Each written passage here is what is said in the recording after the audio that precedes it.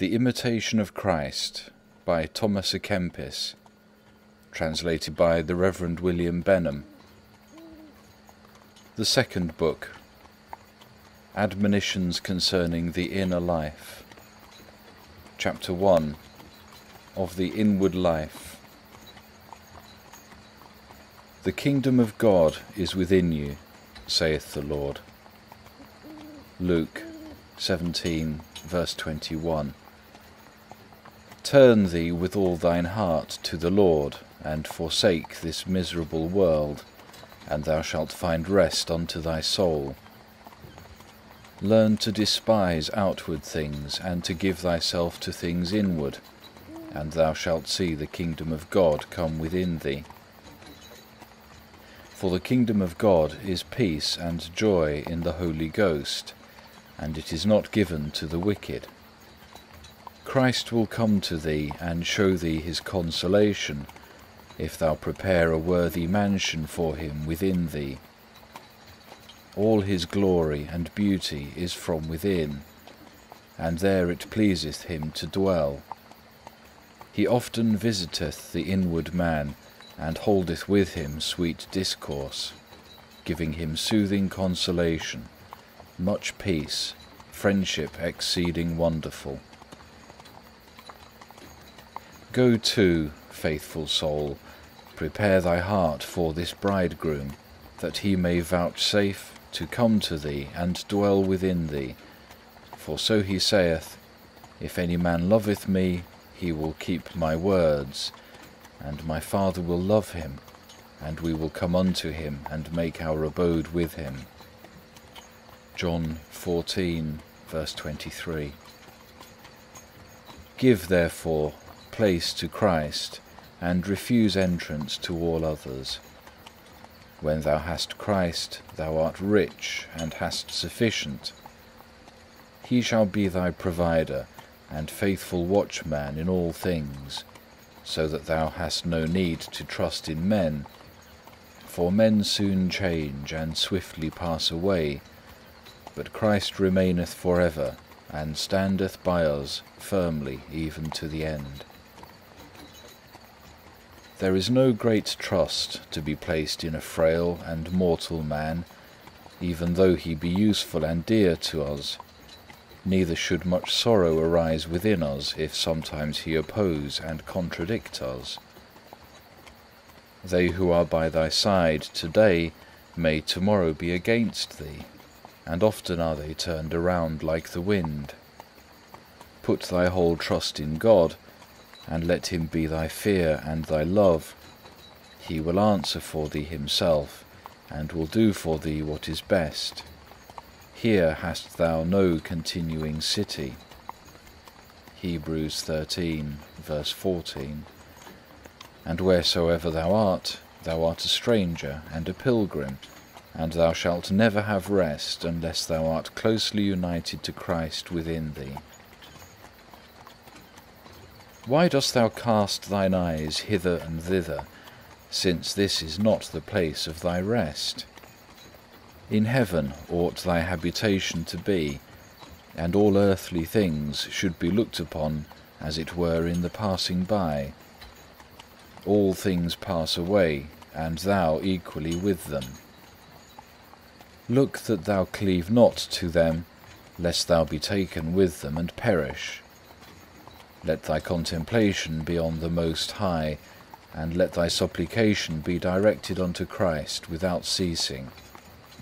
If thou canst not behold high and heavenly things, rest thou in the passion of Christ, and dwell willingly in his sacred wounds. For if thou devoutly fly to the wounds of Christ, and the precious marks of the nails and the spear, thou shalt find great comfort in tribulation, nor will the slights of men trouble thee much, and thou wilt easily bear their unkind words.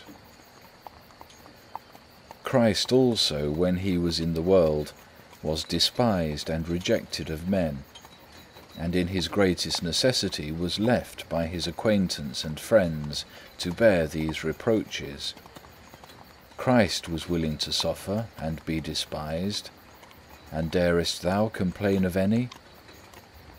Christ had adversaries and gainsayers, and dost thou wish to have all men thy friends and benefactors?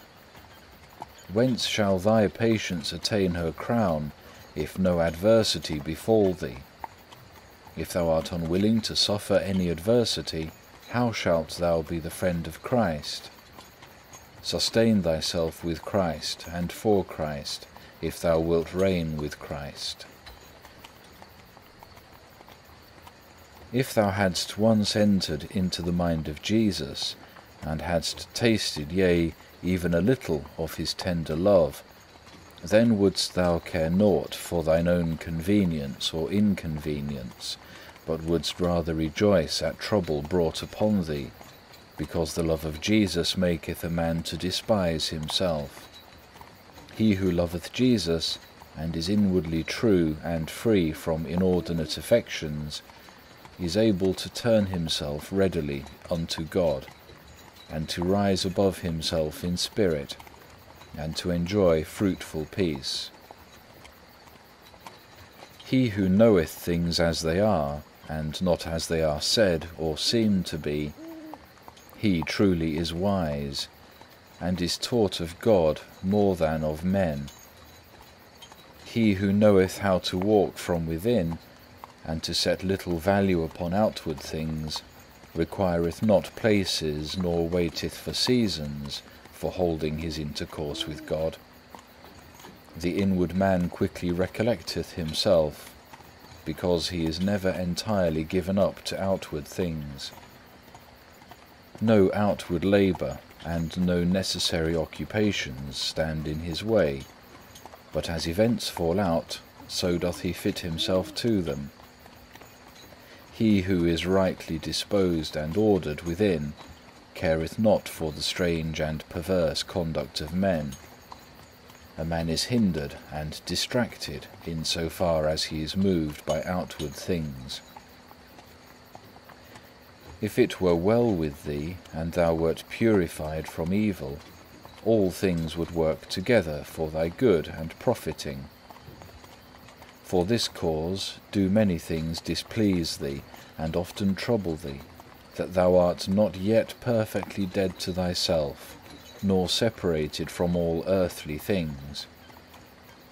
Nothing so defileth and entangleth the heart of man as impure love towards created things. If thou rejectest outward comfort, thou wilt be able to contemplate heavenly things, and frequently to be joyful inwardly. Chapter 2 Of Lowly Submission Make no great account who is for thee or against thee, but mind only the present duty, and take care that God be with thee in whatsoever thou doest. Have a good conscience, and God will defend thee. For he whom God will help, no man's perverseness shall be able to hurt. If thou knowest how to hold thy peace and to suffer, without doubt thou shalt see the help of the Lord. He knoweth the time and the way to deliver thee. Therefore must thou resign thyself to Him. To God it belongeth to help and to deliver from all confusion. Oftentimes it is very profitable for keeping us in greater humility that others know and rebuke our faults. When a man humbleth himself for his defects, he then easily pacifieth others, and quickly satisfieth those that are angered against him. God protecteth and delivereth the humble man. He loveth and comforteth the humble man. To the humble man he inclineth himself. On the humble man he bestoweth great grace. And when he is cast down, he raiseth him to glory. To the humble he revealeth his secrets, and sweetly draweth and inviteth him to himself. The humble man having received reproach is yet in sufficient peace, because he resteth on God and not on the world. Reckon not thyself to have profited in any wise, unless thou feel thyself to be inferior to all. CHAPTER III Of the good, peaceable man First keep thyself in peace, and then shalt thou be able to be a peacemaker towards others. A peaceable man doth more good than a well learned. A passionate man turneth even good into evil, and easily believeth evil. A good, peaceable man converteth all things into good. He who dwelleth in peace is suspicious of none, but he who is discontented and restless is tossed with many suspicions, and is neither quiet himself, nor suffereth others to be quiet. He often saith what he ought not to say, and omitteth what it were more expedient for him to do. He considereth to what duties others are bound, and neglecteth those to which he is bound himself. Therefore be zealous first over thyself, and then mayest thou righteously be zealous concerning thy neighbour. Thou knowest well how to excuse and to colour thine own deeds, but thou wilt not accept the excuses of others. It would be more just to accuse thyself and excuse thy brother. If thou wilt that others bear with thee, bear thou with others. Behold how far thou art as yet from the true charity and humility which knows not how to be angry or indignant against any save self alone. It is no great thing to mingle with the good and the meek, for this is naturally pleasing to all, and every one of us willingly enjoyeth peace and liketh best those who think with us. But to be able to live peaceably with the hard and perverse, or with the disorderly, or those who oppose us, this is a great grace, and a thing much to be commended, and most worthy of a man. There are who keep themselves in peace, and keep peace also with others and there are who neither have peace nor suffer others to have peace. They are troublesome to others, but always more troublesome to themselves. And there are who hold themselves in peace, and study to bring others unto peace.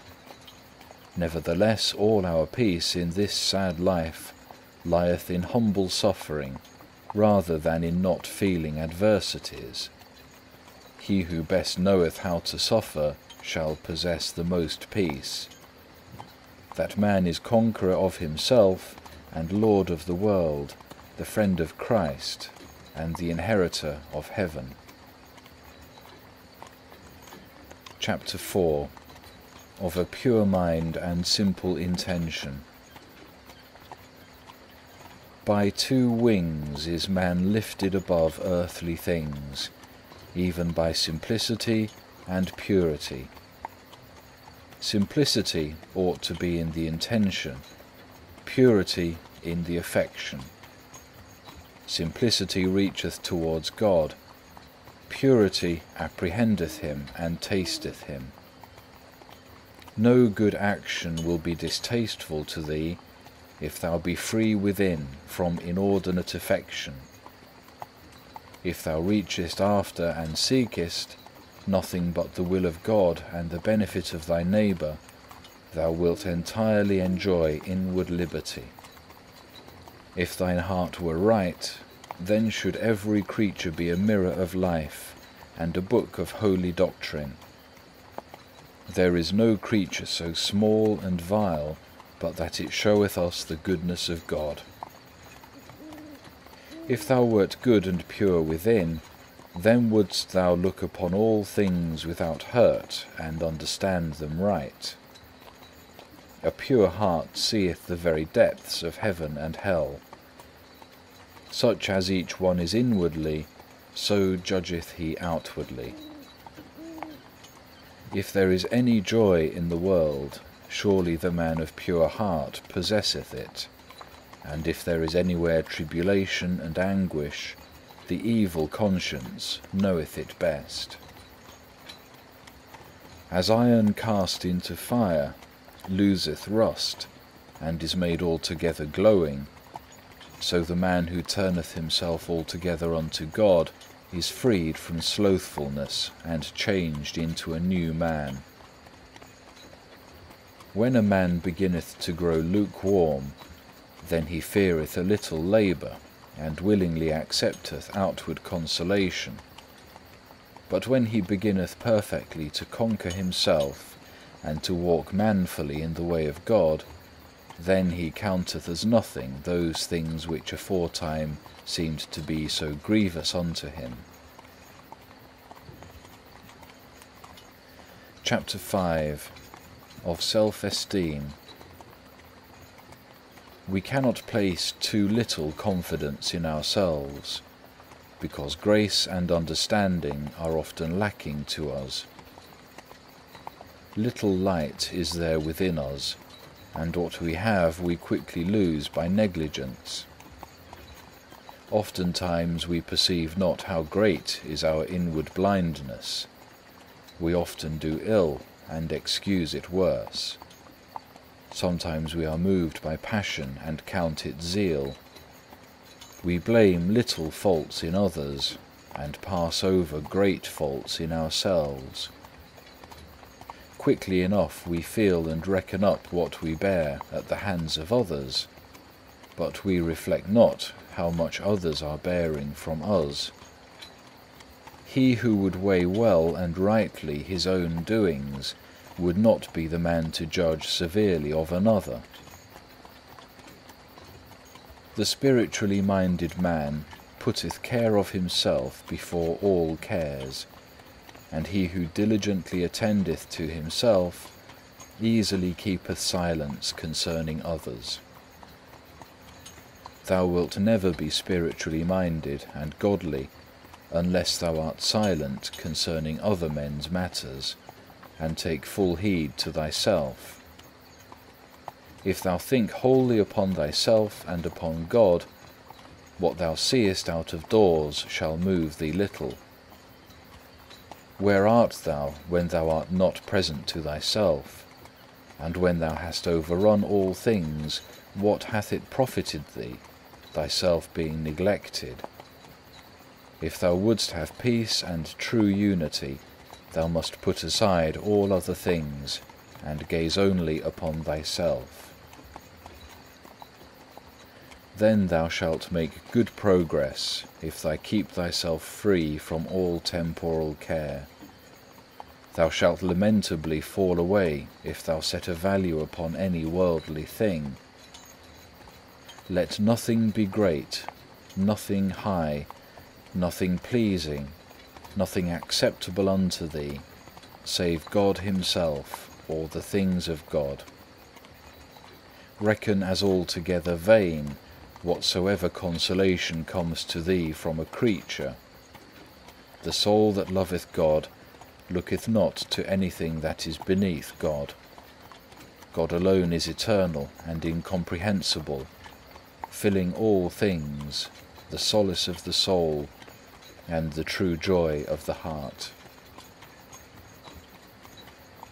Chapter 6 Of the Joy of a Good Conscience the testimony of a good conscience is the glory of a good man. Have a good conscience and thou shalt ever have joy. A good conscience is able to bear exceeding much, and is exceeding joyful in the midst of adversities. An evil conscience is ever fearful and unquiet. Thou shalt rest sweetly if thy heart condemn thee not. Never rejoice unless thou hast done well. The wicked have never true joy, nor feel internal peace, for there is no peace, saith my God, to the wicked. Isaiah 62, verse 21. And if they say, We are in peace, there shall be no harm happen unto us, and who shall dare to do us hurt? Believe them not, for suddenly shall the wrath of God raise up against them, and their deeds shall be brought to naught, and their thoughts shall perish. To glory in tribulation is not grievous to him who loveth, for such glorying is glorying in the cross of Christ. Brief is the glory which is given and received of men. Sadness always goeth hand in hand with the glory of the world. The glory of the good is in their conscience, and not in the report of men. The joy of the upright is from God and in God, and their joy is in the truth. He who desireth truth and eternal glory careth not for that which is temporal. And he who seeketh temporal glory, or who despiseth it from his heart, is proved to bear little love for that which is heavenly. He who careth for neither praises nor reproaches hath great tranquillity of heart. He will easily be contented and filled with peace, whose conscience is pure. Thou art none the holier if thou art praised, nor the viler if thou art reproached. Thou art what thou art, and thou canst not be better than God pronounceth thee to be. If thou considerest well what thou art inwardly, thou wilt not care what men will say to thee. Man looketh on the outward appearance, but the Lord looketh on the heart. 1 Samuel 16, verse 7. Man looketh on the deed, but God considereth the intent. It is the token of a humble spirit always to do well, and to set little by oneself, not to look for consolation from any created thing is a sign of great purity and inward faithfulness. He that seeketh no outward witness on his own behalf showeth plainly that he hath committed himself wholly to God. For not he that commendeth himself is approved, as St. Paul saith, but whom the Lord commendeth. 2 Corinthians 10 verse 18 To walk inwardly with God and not to be held by any outer affections is the state of a spiritual man. Chapter 7 Of loving Jesus above all things Blessed is he who understandeth what it is to love Jesus and to despise himself for Jesus' sake. He must give up all that he loveth for his beloved, for Jesus will be loved alone above all things. The love of created things is deceiving and unstable, but the love of Jesus is faithful and lasting. He who cleaveth to created things will fall with their slipperiness, but he who embraceth Jesus will stand upright for ever. Love him and hold him for thy friend, for he will not forsake thee when all depart from thee, nor will he suffer thee to perish at the last. Thou must one day be separated from all, whether thou wilt or wilt not. Cleave thou to Jesus in life and death, and commit thyself unto his faithfulness, who, when all men fail thee, is alone able to help thee. Thy beloved is such by nature that he will suffer no rival, but alone will possess thy heart, and as a king will sit upon his own throne. If thou wouldst learn to put away from thee every created thing, Jesus would freely take up his abode with thee. thou wilt find all trust little better than lost, which thou hast placed in men, but not in Jesus.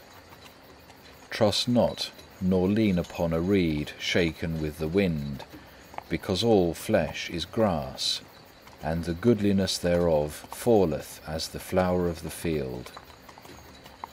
Isaiah 40, verse 6. Thou wilt be quickly deceived if thou lookest only upon the outward appearance of men. For if thou seekest thy comfort and profit in others, thou shalt too often experience loss. If thou seekest Jesus in all things, thou shalt verily find Jesus. But if thou seekest thyself, thou shalt also find thyself, but to thine own hurt.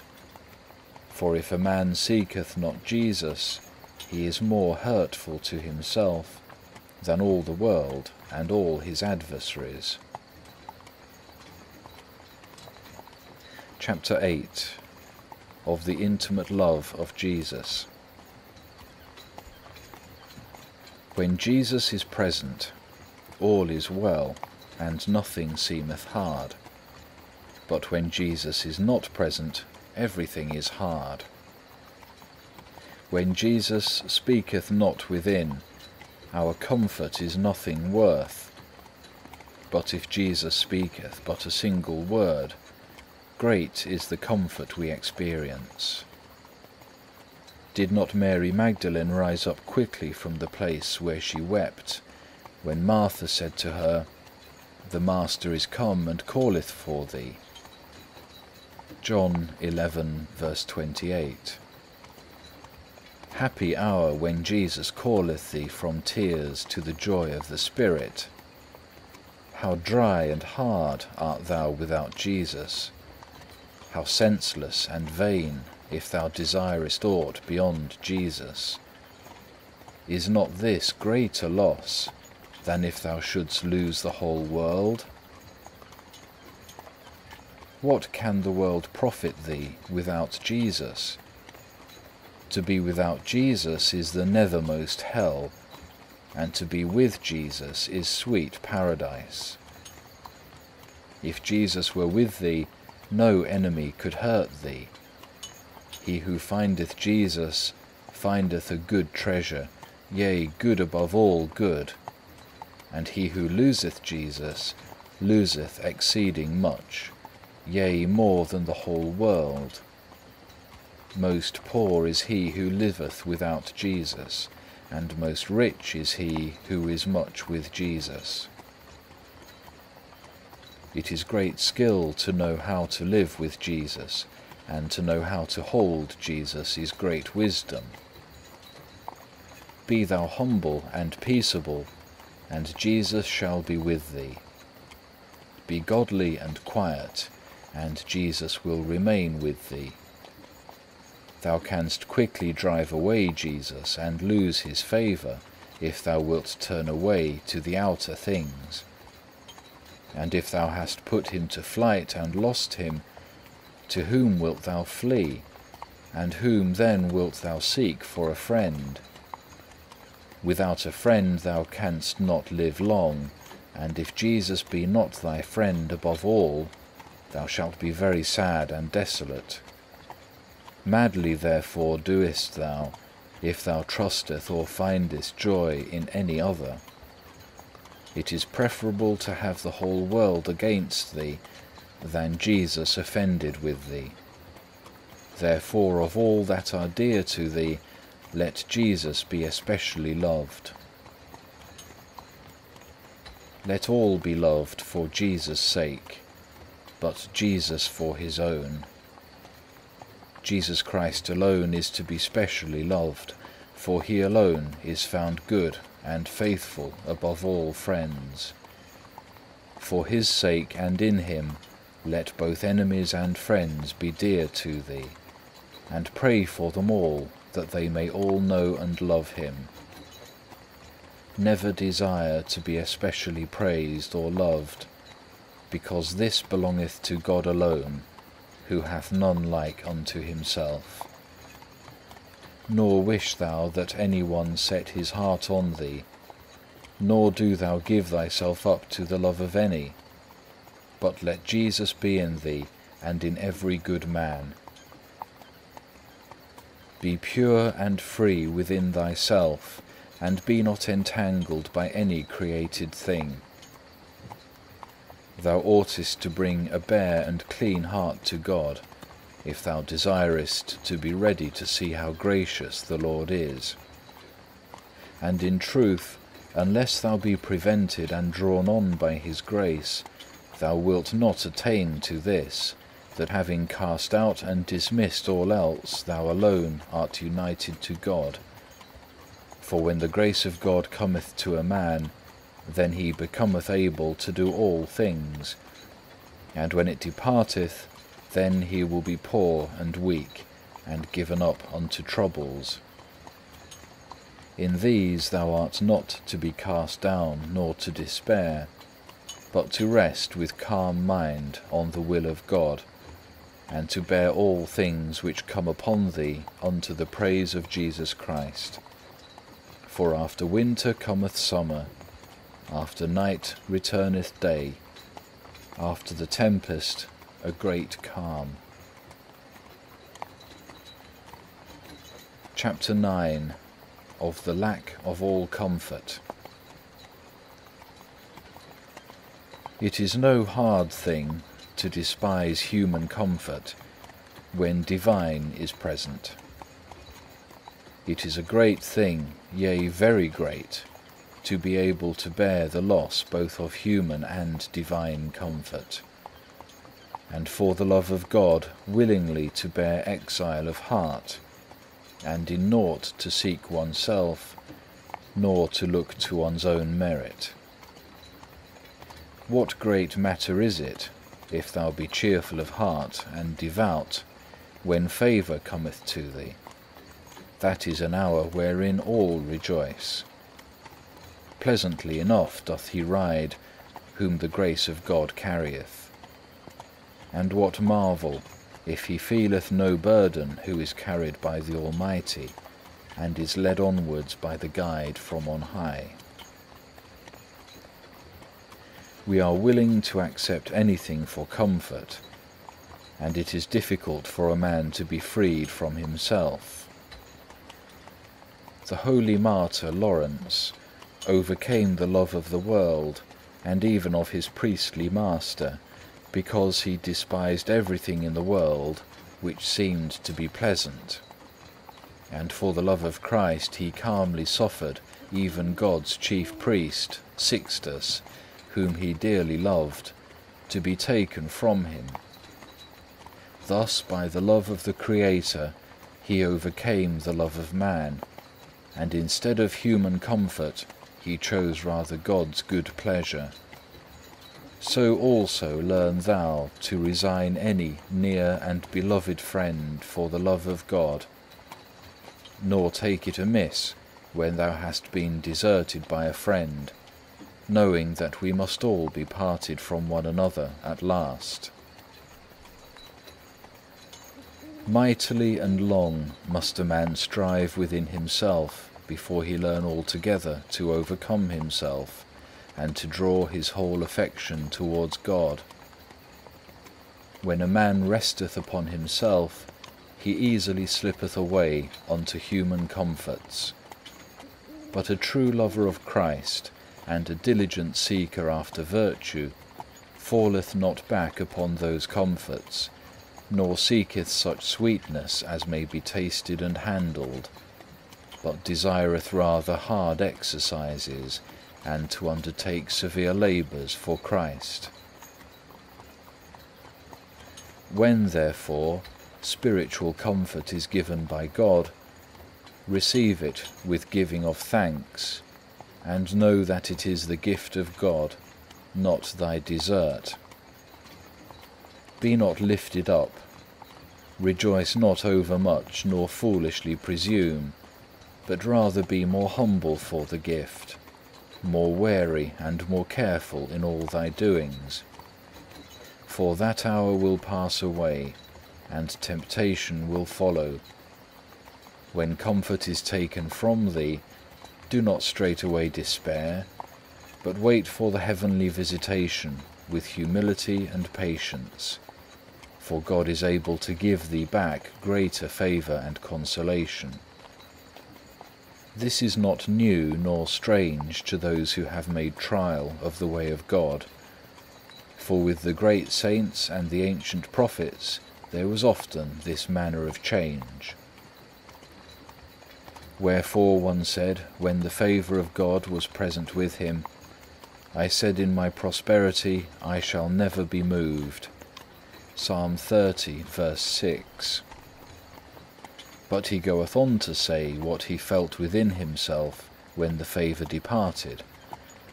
Thou didst turn thy face from me, and I was troubled. In spite whereof he in no wise despaireth, but the more instantly entreateth God, and saith, Unto Thee, O Lord, will I cry, and will pray unto God. And then he receiveth the fruit of his prayer, and testifieth how he hath been heard, saying, The Lord heard me and had mercy upon me. The Lord was my helper. But wherein? Thou hast turned my heaviness into joy. Thou hast put off my sackcloth and girded me with gladness.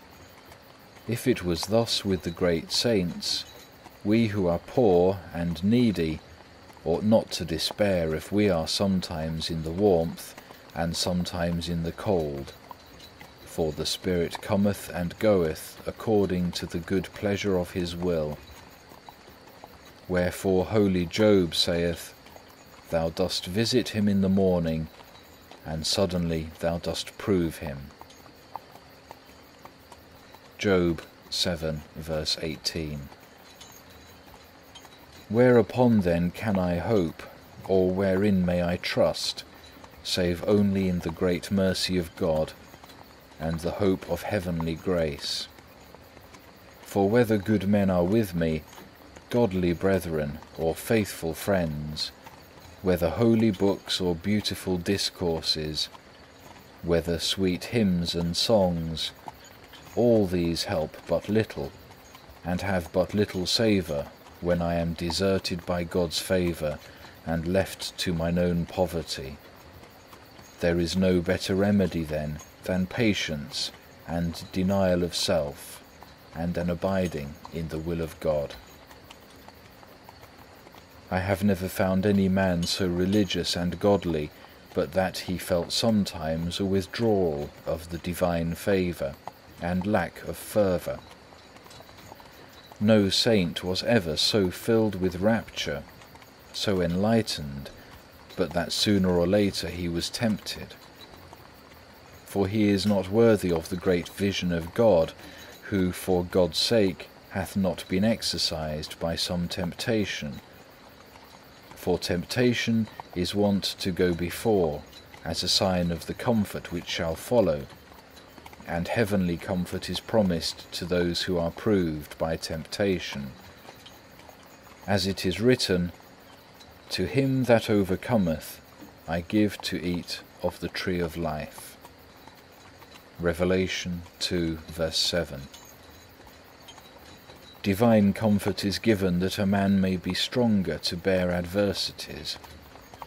And temptation followeth, lest he be lifted up because of the benefit. The devil sleepeth not, thy flesh is not yet dead. Therefore cease thou not to make thyself ready unto the battle, for enemies stand on thy right hand and on thy left, and they are never at rest. Chapter 10 Of Gratitude for the Grace of God Why seekest thou rest when thou art born to labour? Prepare thyself for patience more than for comforts, and for bearing the cross more than for joy. For who among the men of this world would not gladly receive consolation and spiritual joy if he might always have it? For spiritual comforts exceed all the delights of the world, and all the pleasures of the flesh. For all worldly delights are either empty or unclean, whilst spiritual delights alone are pleasant and honourable, the offspring of virtue, and poured forth by God into pure minds.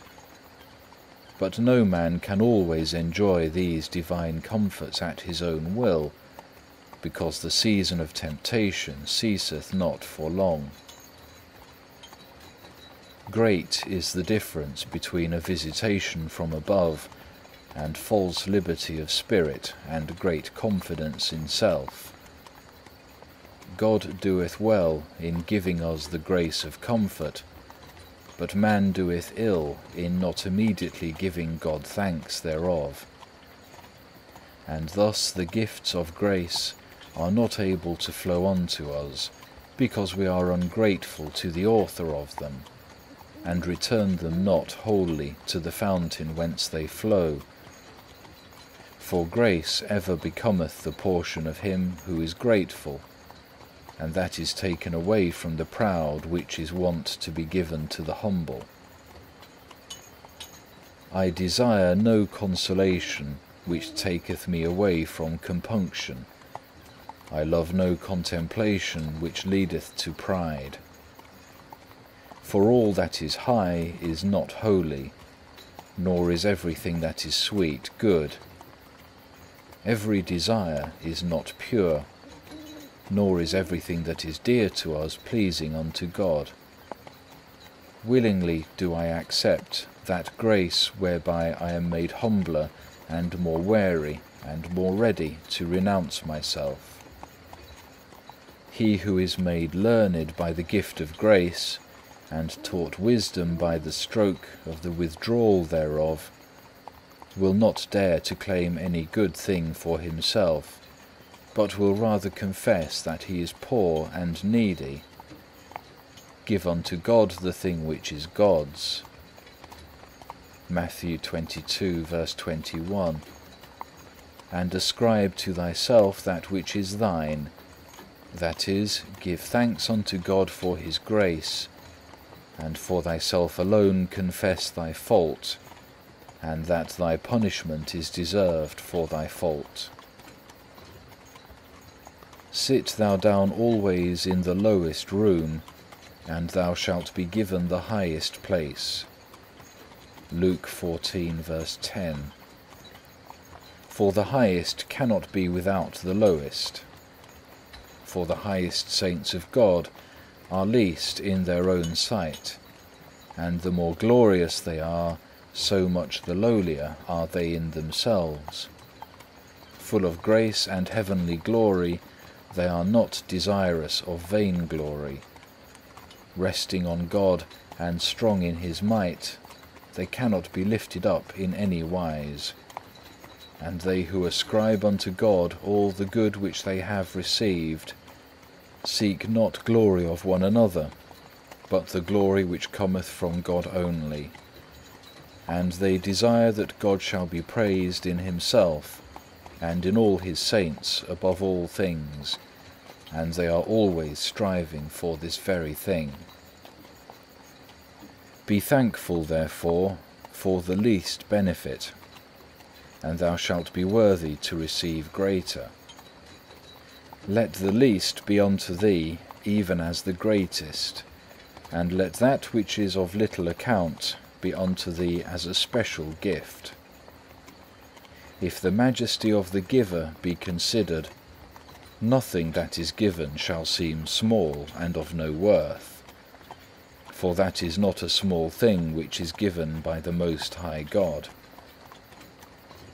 Yea, though He gave punishment and stripes, we ought to be thankful, because He ever doth for our profit whatever He suffereth to come upon us. He who seeketh to retain the favour of God, let him be thankful for the favour which is given, and patient in respect of that which is taken away. Let him pray that it may return. Let him be wary and humble that he lose it not. End of chapter 10.